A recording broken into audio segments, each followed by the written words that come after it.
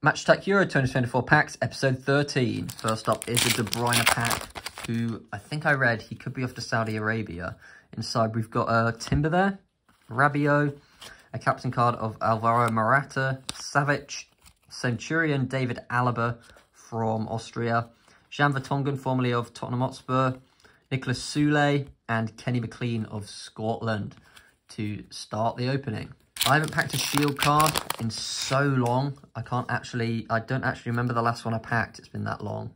So I really need one in this opening. We have Veljkovic, Ollie Watkins, Patrick Schick, Vlahovic golden goal scorer, a crystal parallel of Gosens of Germany, Adamu graduated gem in purple parallel, Balde and Angus Gunn of Scotland, yet again to end a pack, and a Rogi pack to end off this episode.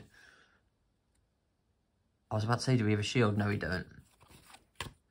We have Mwene, Koundé, Andy Robertson, captain, Ciro Immobile, golden goal scorer. I've got all of them so many times. Another golden goal scorer. This is a parallel, Patrick Schick from Czech Republic. We've Ilic graduated gem, which I think I need, I don't know.